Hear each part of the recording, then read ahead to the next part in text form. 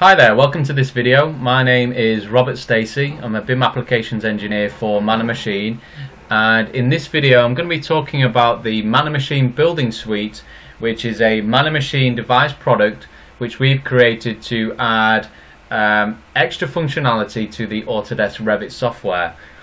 Now in this video I'm going to be focusing primarily on the Libraries and Projects tool which is just one aspect of the building suite but a very important and useful one.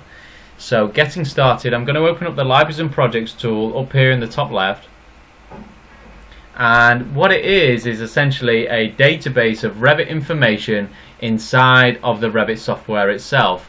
So we can bring in uh, families, projects and images to be contained inside of this one single database which means we no longer have to look externally uh, for our Revit information which may be saved on, uh, saved on our file server, it may be saved on our C drive, it may even be saved on our desktop. More than likely it's going to be saved in more than one location. Well, how does this work? Well, across in the database tab here, what we can do is we can point the Libraries and Projects tool to uh, a number of different file locations where our Revit information might be saved and it's going to import that information across into our Libraries and Projects database.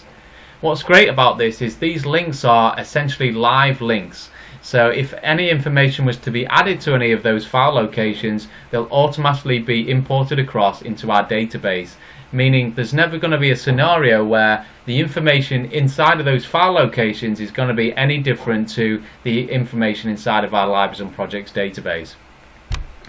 Now once we've imported our information across into this database you can see I've currently got 3610 elements.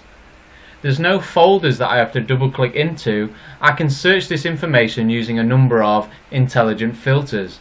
For example up at the top here I can do a search for save window and we can see it finds all of the results which have window uh, anywhere in the attributes of which there are 182 okay I can get more specific with my filter I can type in say plain to find all of the plain windows of which there are six and I can get even more specific and type in comp for a composite window and that's narrowed it down to the single result now we've got the option to edit these attributes here in grey. You can see I've already put my name next to this author here.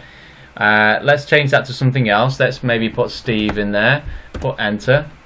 What I can do now is I can uh, delete this uh, current filter out of there.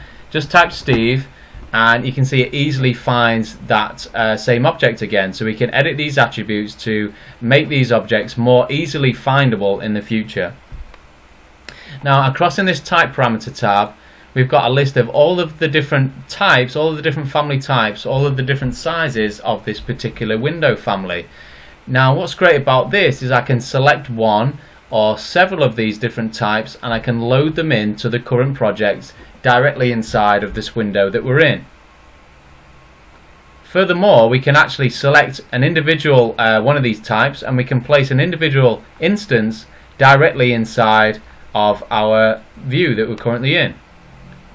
Just like so.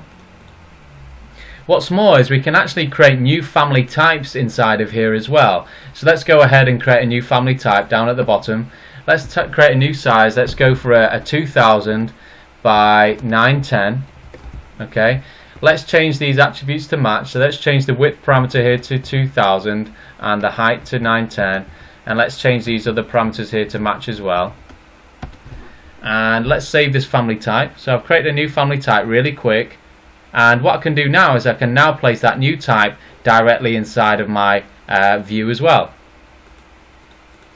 so not only is the Libraries and Projects tool an excellent database but I can use it to load in families and load in Revit information I can create new family types within here as well and I can place those types directly into my design model so that pretty much concludes the, de the demonstration. I hope it's been useful.